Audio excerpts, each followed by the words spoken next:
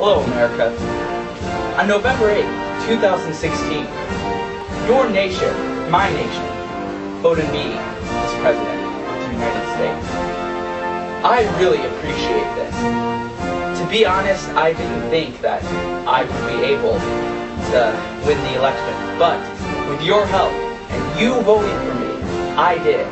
Now you might wonder, why is there no nice shirt under here? Well, you see, you already know that I am the one suitable for the job. I have already tied up all the nation's problems. But what's left for me to do? Well, that's for you to find out in the next four years. Now, who do I have to thank? Well, I have a lot of people to thank. I mean, I, I have to thank my legs for supporting me.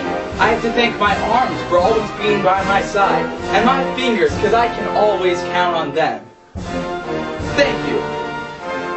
This is Timothy Weber, and I approve this message. Note, he is now President Timothy Weber, and he will be your president for the next four years.